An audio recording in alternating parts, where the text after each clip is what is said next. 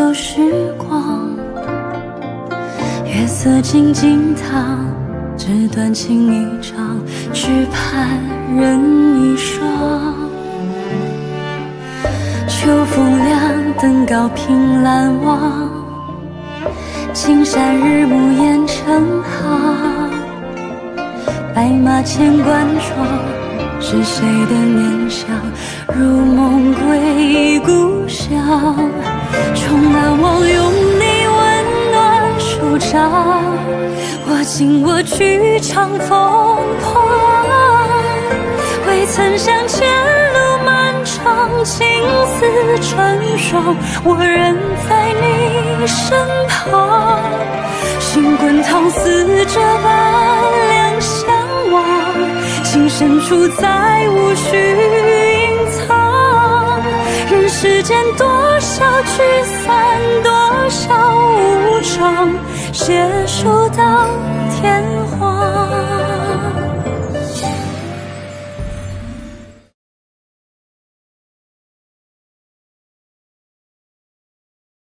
A B C 汉方纯棉养护有方，天然健康，邀您观看《锦心似玉》。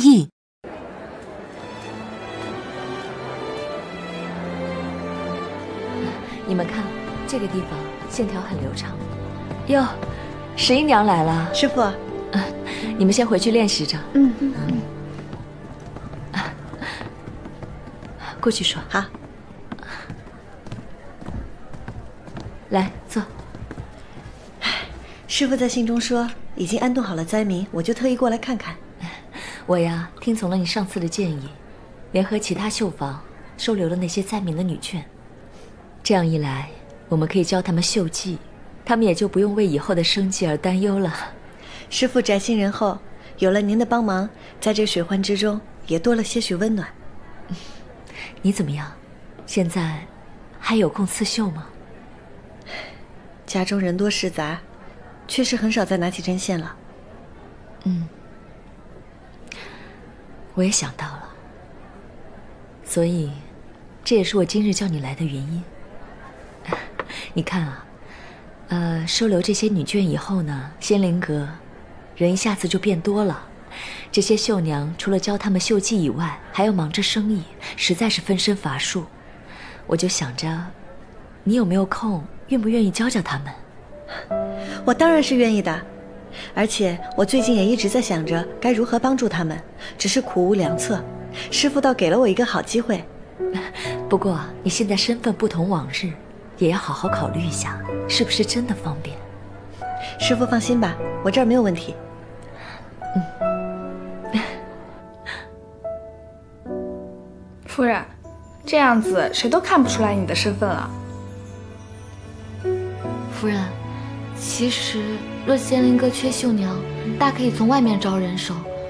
太夫人应该不会喜欢您这样抛头露面，何况现在灾民这么多。这人多眼杂的，万一要是传出去，婆婆，你以为师傅让我来教绣娘，当真是因为缺人手啊？难道不是吗？师傅是希望我在寻找凶手之余，不要忘记自己的喜好和理想。师傅有心了。简师傅一直都把夫人当做亲生女儿的，而且凭什么女子就不许抛头露面？我们一没偷，二没抢，更没有做伤天害理之事，没有什么见不得人的。嗯。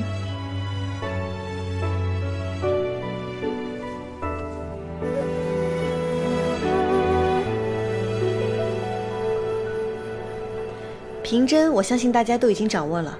现在我要教大家套针，套针是苏绣中的主要针法，绣线排列灵活。在接色镶色时要运用自如，用绣线以长短针脚起落镶嵌，就像这样。大家看啊，绣线套接不露针迹。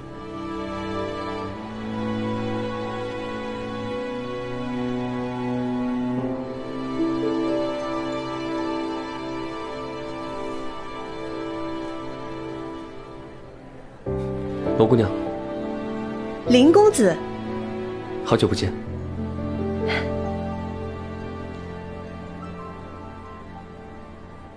没想到今日能够遇到公子，真是意外之喜。我原本以为与姑娘再无重逢之日，没想到今日能在此处重逢。我偶尔会来仙灵阁教他们刺绣，也希望在灾后他们能有所依靠。姑娘不仅绣技高超，心地还善良，林某佩服。公子过誉了。姑娘，在下有一事一直心存疑惑。一年前你我本约好在慈安寺见面，然后离京，可姑娘却没有来，是不是有什么事情耽搁了？还是你改了主意？啊。那日家中突发急事，所以耽搁了，没有及时告知公子，还望公子见谅。无妨。那日我就是担心姑娘，如今见到姑娘平安无事，我也就放心了。那姑娘最近可好？还有离京的打算吗？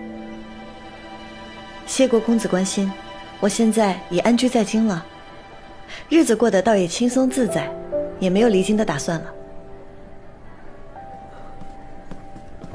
林公子，师傅，简师傅。啊，林公子不必客气，快坐吧。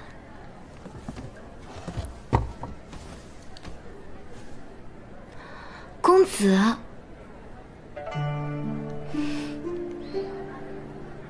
是你？你们认识？父，哦，小姐，你有所不知，当初赈灾的米粮就是这位公子帮我们买的。不仅如此。林公子还入股了我们仙灵阁，他得知我收留灾民，还特意捐献了大量的布匹和针线。原来林公子还是仙灵阁的东家，失 敬失敬。姑娘不必客气，我很欣赏简师傅传承技艺的志愿，也想为此尽点微薄之力。多谢公子对我师傅的心意，也感谢公子这次的慷慨相助。救灾济民本是我等分内之事，更何况仙灵阁的事就是我的事。姑娘不必再多谢。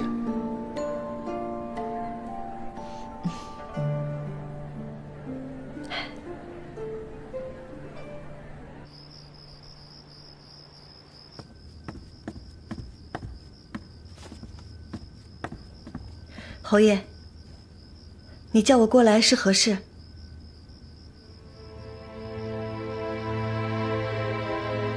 这是？别问。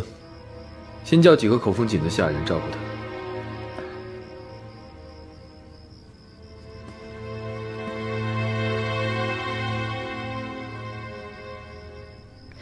那只能先把他养在半月畔了。西跨院人多嘴杂，怕是不方便。好，先别让家里人知道。侯爷，他叫什么名字啊？我们该如何称呼他？凤清，那我让冬青琥珀前来照顾，他们嘴严，不会乱说。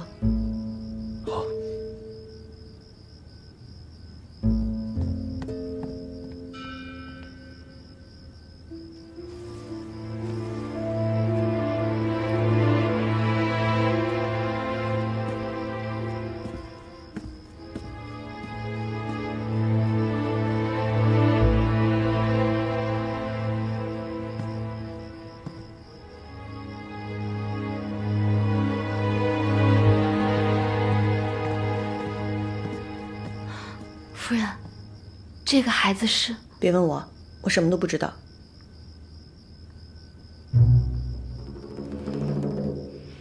这个孩子眉宇之间倒是有几分像侯爷，该不会是侯爷？你别瞎说，你们只管照顾孩子便是。还有这件事不能让别人知晓。是是。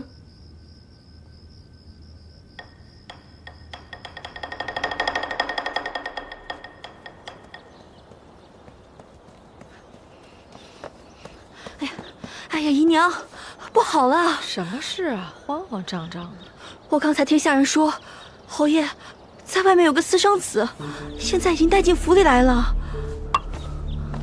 你说什么？此言当真？是真的。你亲眼看见那孩子了吗？现在就在半月畔，奴婢偷偷去看过了，虽说没看见什么孩子，但确实有孩子用的物品啊。哎，姨娘，那以后孩子养在谁的屋？是夫人的吗？现在还没定，但这也说不准啊。完了完了完了，一个庄哥还不够吗？若是又多个嫡子，这让我们家玉哥以后怎么出头啊？对呀。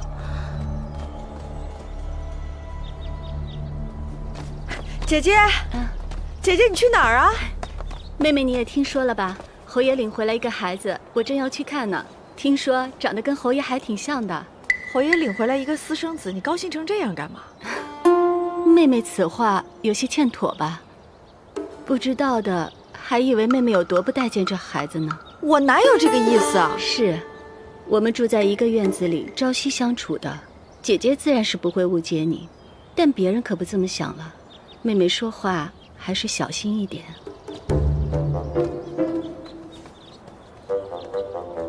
平日里一声不吭的，突然冒出这么一句，气死人！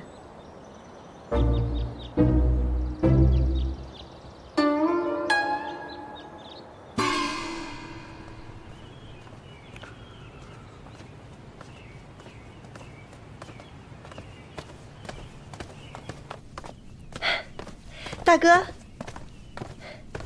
请坐。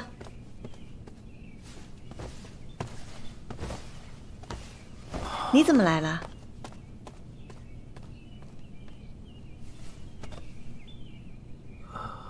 听说侯爷有个私生子。您听谁说的？都说了些什么？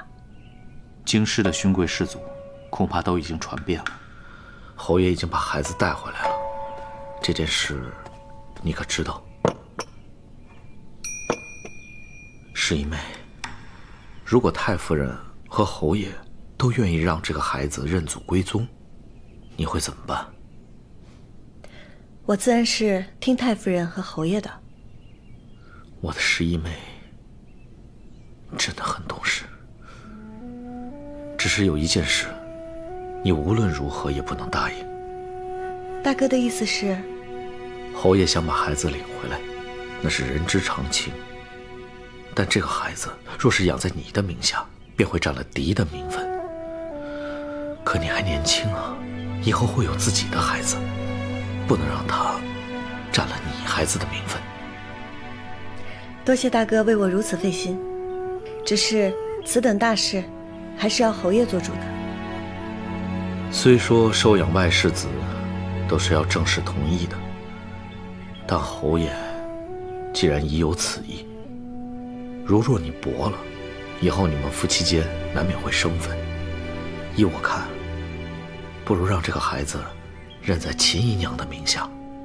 我以前听元娘说过，她是个安生的。多谢大哥如此为我费心，我都记下了。好了，该嘱咐的我也都嘱咐了。见过侯爷，我就回去了。啊，大哥慢走。夫人，大爷处处为你着想，他可真是个好人。大哥为人正直，在罗家的时候虽然与我接触不多，可是对我的关怀却从未少过。而且大哥在学业上也不甘人后，想来罗家日后的复兴都得靠大哥了。嗯。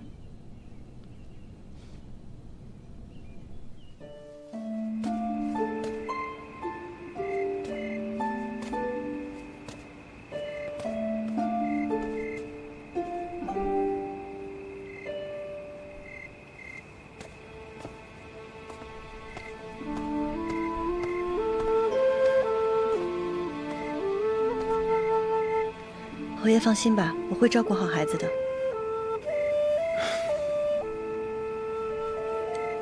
只是，我们问也不问一声五爷就自作主张，怕是丹阳知道后不好收场。谁告诉你那是五弟的孩子？我看那孩子瘦弱苍白，身上又浑浊不堪。若是侯爷的孩子，纵是再不济，侯爷也会护他周全。断不会沦落至此。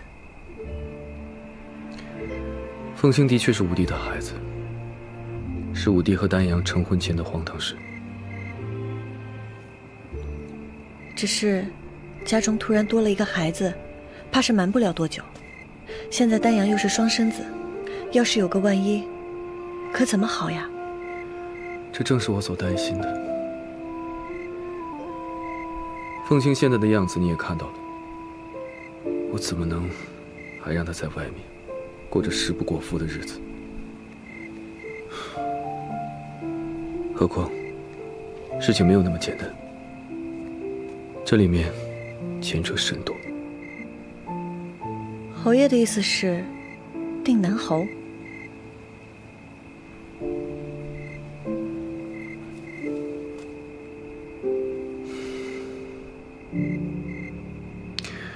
何，要先瞒着丹阳，顺利把孩子生下来。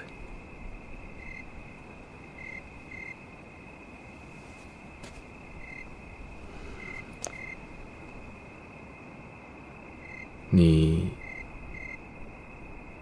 怎么就敢确定那孩子不是我的？侯爷是多么心高气傲的人啊！要是看上哪家大户人家的小姐，还有可能。只是。谁家小姐的孩子会落魄至此啊？再加上那孩子长得又是徐家人的模样，那只能是五爷的了。春日宴那日，因为点春堂在唱戏，所以我在静安轩休息。我并不知道乔姨娘在里面换衣服，还没来得及出来，元年就闯进来了。后来。你都知道的，不信，不信也罢。我怎会不信？侯爷是什么样的人？平匪患，征东南，堂堂男子汉大丈夫，岂会对我说谎？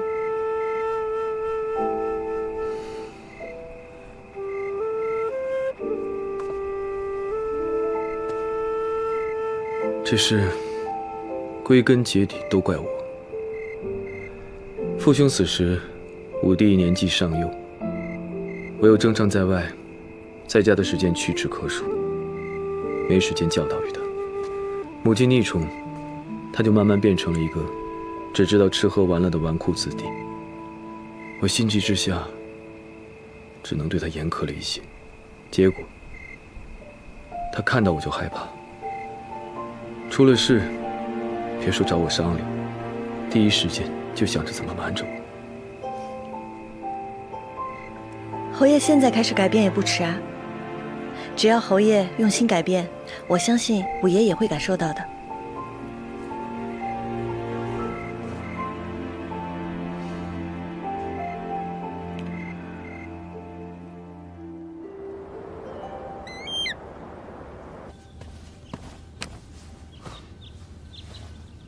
令仪，宽儿已经到了，有什么事你就赶紧说吧。给母亲跪下。你这是要干什么？母亲，你可还记得那个叫月梅的女子？戏子的妹妹。宽儿，莫非你跟她还有来往？母亲，冤枉啊！自从四年前我跟丹阳成了亲。就再也没有见过她。你是没有见过她了，可你知道她怀了你的孩子吗？如今月梅和她哥哥正在闹着要见你孩子的爹呢。孩子？谁的孩子？孩子在哪儿？他们昨日把孩子送来，现在在半月畔住着，石姨娘正在照看他。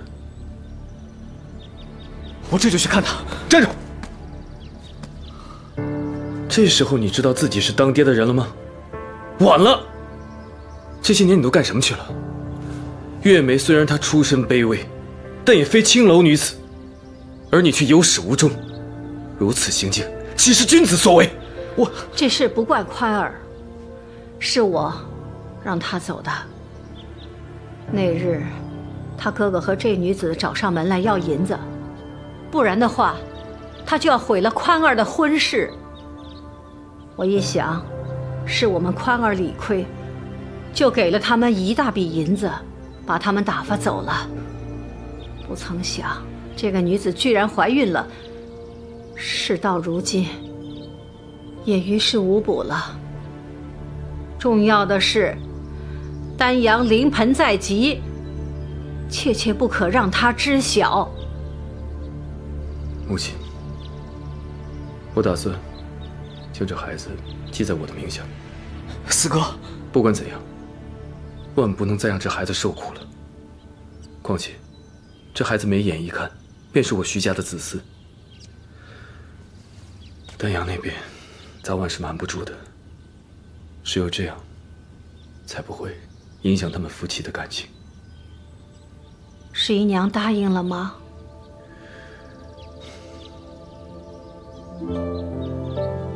那事情也只有这样了。可她未曾生育。这样吧，把我身边的黄妈妈派去照顾照顾吧。还是母亲想的周到。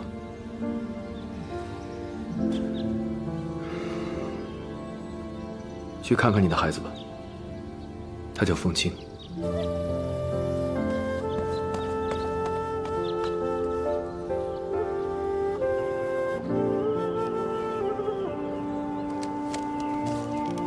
夫人？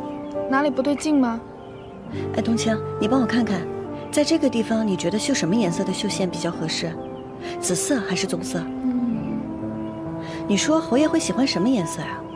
我觉得紫色更好看一些，而且紫气东来，图个祥兆。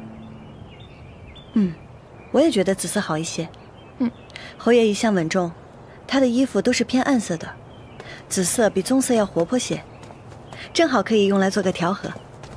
夫人，秦姨娘来了。秦姨娘。夫人，这是怎么了？快起来！夫人，求夫人把凤青交给妾身抚养，妾身一定会亲力亲为，把她当亲生的来对待。你先起来说话。夫人，你不答应我，我就不起来。夫人知道的，妾身之前有过小产，大夫说了，妾身这辈子都不会有自己的孩子了。妾身屋里一向冷清，若是能有个孩子。下半辈子也算有个盼头了，夫人，只要你答应妾身，妾身什么事都愿意做。求夫人成全。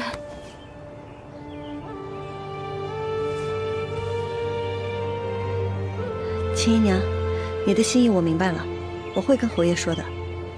只是此事还得侯爷和太夫人来做决定。快起来吧。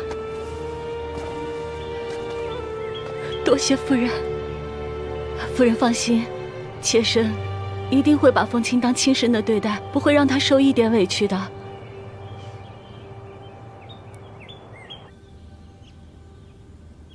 怎么？你想抚养凤青？求太夫人成全。哎呦，凤青这个孩子还这么小，你又没照顾过孩子。你可不知道，这要付出多大的精力和足够的耐心呢？光凭一腔热情是不够的。太夫人，您放心，我定会待凤青视如己出，而且我会请两个经验老道的婆子跟我一起来照顾她，我绝对不会亏待凤青的。莲房啊，你还年轻，早晚会有自己的孩子。你说你真有这个精力，那还不如……好好去伺候侯爷呢。我也想伺候侯爷呀，可是你也知道，侯爷几乎都不去我那儿。特别是在梅米事件之后，若是有了凤青，侯爷定会多来几趟吧。我知道。我这么做的念头有些不纯，但是，我绝对不会亏待凤青的。我也真的是没有别的办法了。只要侯爷能够多看我两眼，莲房什么事情都愿意做。孩子，真是苦了你了。我知道了，这件事我会考虑的。莲房，多谢太夫人。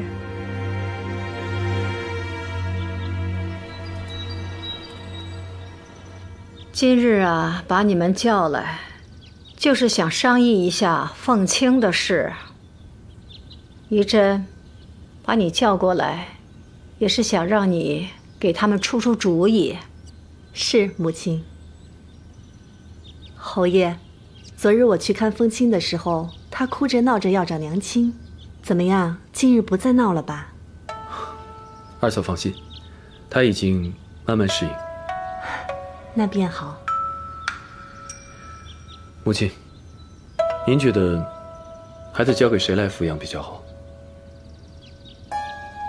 仪真，你说呢？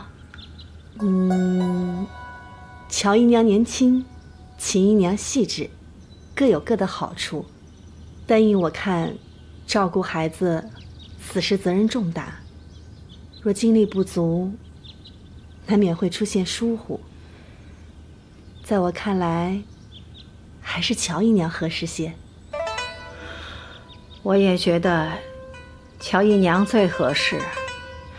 她知书达理，善良温顺，把孩子放在他那儿，我最放心不过了。嗯，母亲啊。嗯。乔姨娘，她一向被人惯着，也不曾照顾别人，给她照顾恐怕不多。那你母亲，我觉得秦姨娘更合适些。她行事稳重，又惯会照顾人，就算小孩撒泼耍皮。他也是能应付得了的。秦姨娘倒是个很好的人选。唉，这养孩子还真不是一件小事，还得看他的脾气秉性。那将来万一母子不和，那麻烦就大了。唉，要不，要不这样吧，让他们两人都跟孩子接触接触。看孩子跟谁更投缘，到时候再做个决定。侯爷，你看这个行吗？好，那就按母亲说的办。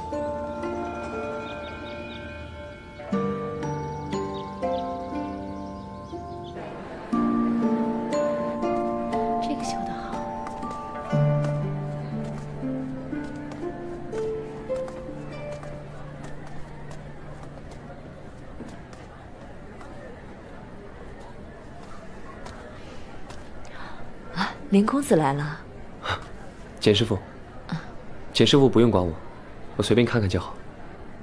好。罗小姐今日可在？啊，罗小姐应该是家中有事，她倒是好些日子都没来了。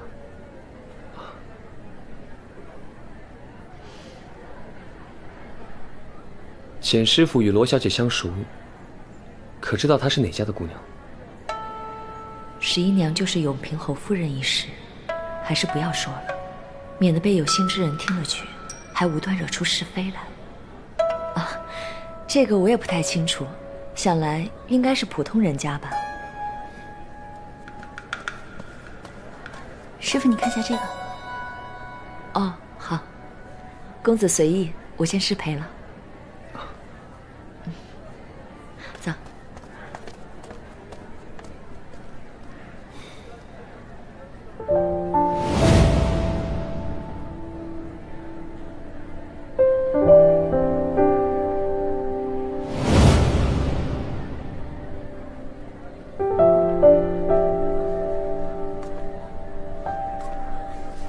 这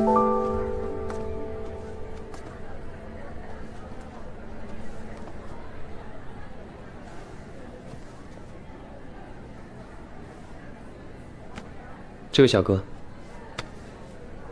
可否帮我一个忙？林公子，你有什么吩咐？等罗小姐来的时候，你去通报一声，如何？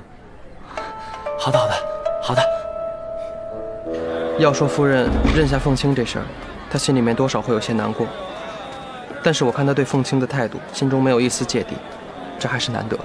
这个喜欢吗？他一眼就看出来凤青不是我的孩子，这怎么看得出？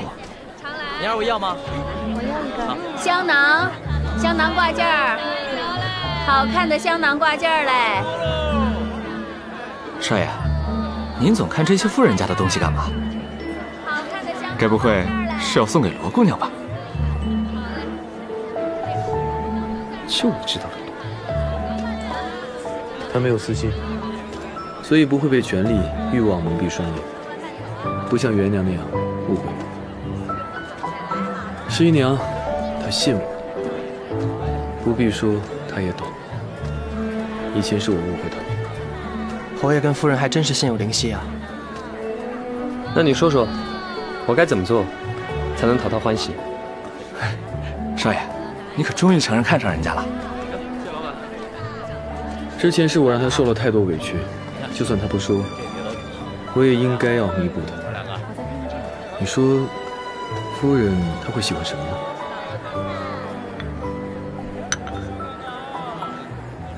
罗姑娘善良爽朗，秀外慧中，我喜欢她也不奇怪吧？少爷，要我说，不用这么麻烦，您呢就直接带着银子去罗家提亲。有您这瞎琢磨的功夫，那早就把人给娶回来了。你懂什么？侯爷若是想送夫人礼物，直接说便可，何必这般拐弯抹角？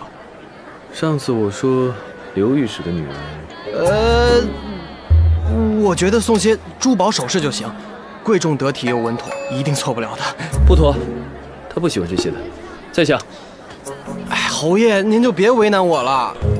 这两情相悦的美妙，其实银子能买来的？简直俗气至极。我要是像你说的这么做，恐怕早就把人吓跑了吧。少爷说的有道理。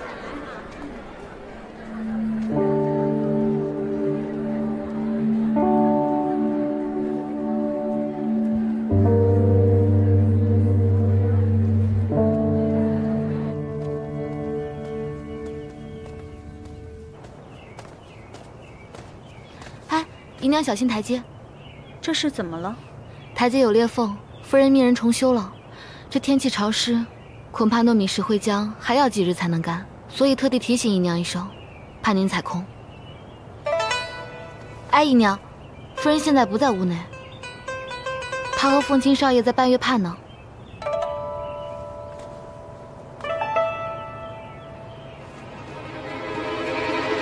凤青，凤青，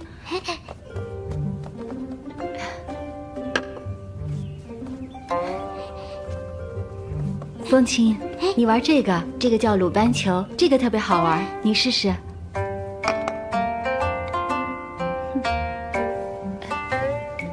凤青，凤青，你慢点跑。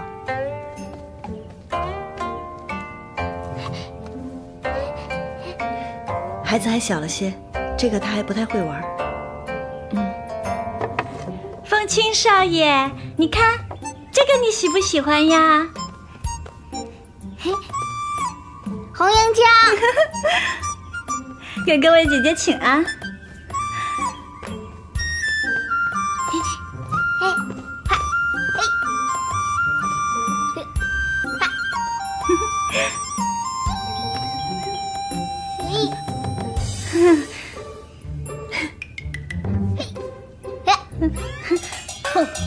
少爷还真是活泼呀！凤青，不可以拿这个红缨枪伤人的。哎，就是凤青少爷与我亲近呐，没事啊，去玩吧。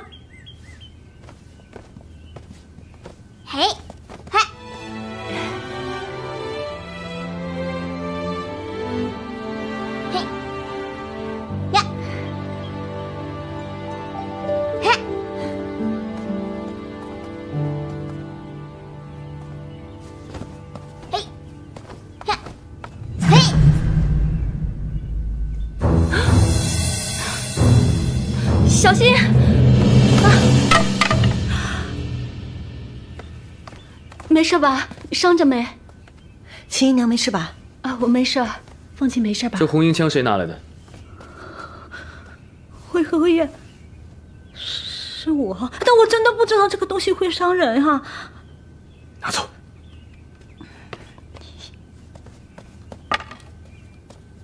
还好没有伤到，没事了，不要怕。凤青，你饿不饿？要不要吃点点心？那要不我们去花园玩球好吗？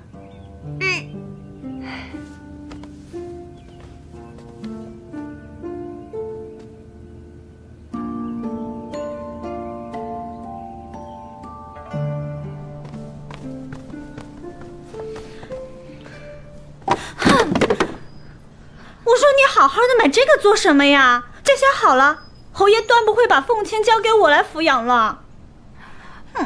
那还不是那个卖货郎极力推荐，说男孩都喜欢这个，我也没多想。卖货郎？哪个铺的卖货郎？就是那个走街串巷的卖货郎啊。那日我正好出门，在府门口遇上了，我就买了。你说你怎么这么蠢呀？我们八成是中计了，哪有那么巧的事儿？中计？肯定是那罗十一娘看不惯我得势，故意给我使的手段。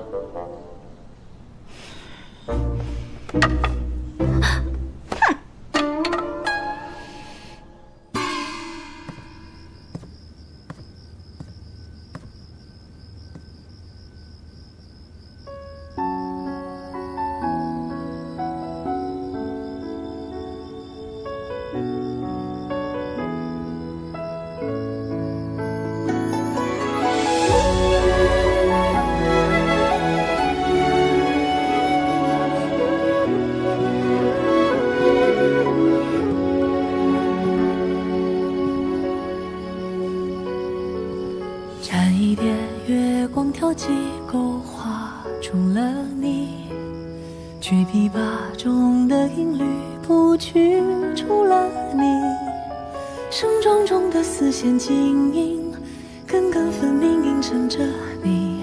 千帆历尽清醒，我有你。点一盏心心相印，圆月守护你。你留给我的耳语，都是爱意。策马疾驰，昼夜四季，风花雪月都看尽。悄悄说最喜欢长相守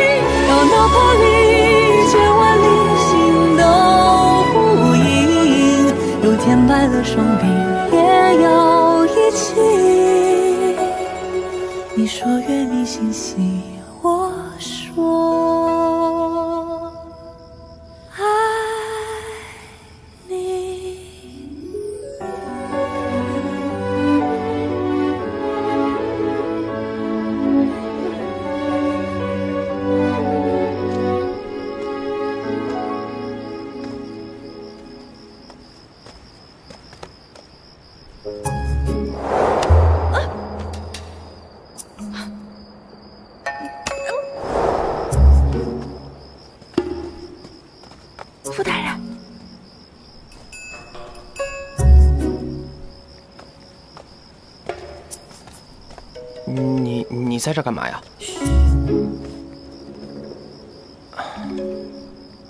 怎么你一个人啊？赵颖呢？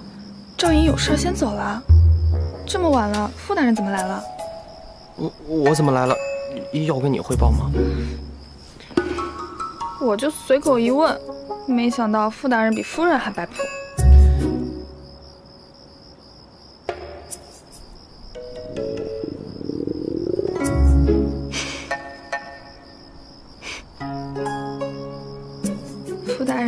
是饿了？我这里有一些给夫人备的点心，傅大人要不要尝一尝？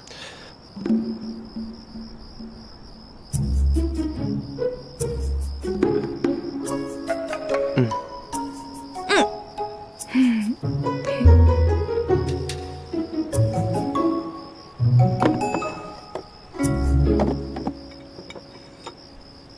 这个呀是芙蓉桂花糕，是夫人最喜欢吃的，可好吃了。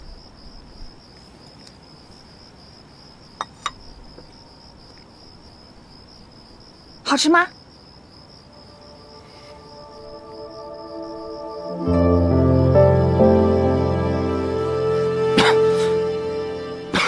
你慢点吃，又没人跟你抢。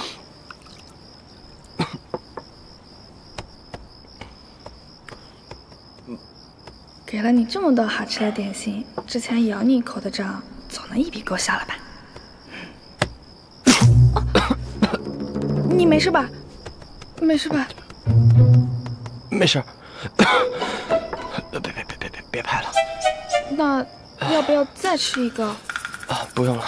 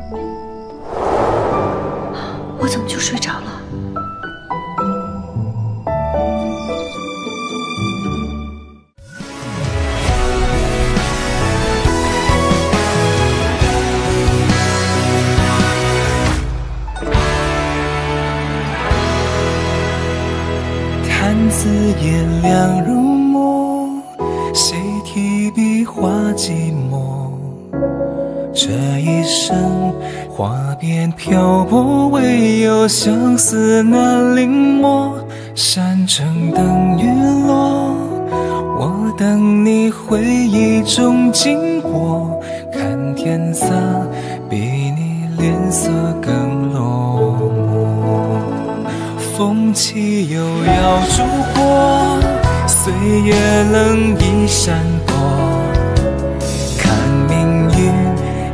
一路曲折而缘分始终不说，心事掩沉默，却画不出你的轮廓。这纸墨要怎么写进你我？谁提笔又因思念平地起风波？谁来过又惹往事在心里颠簸？若深情可念不可说，结局我不多。你的灯火阑珊处有我。谁提笔挑起孤单，泪眼几婆娑？来过为你耗尽我一生笔墨？若飞蛾不曾不过火，怎么谈执着？你的故事尽头处是我。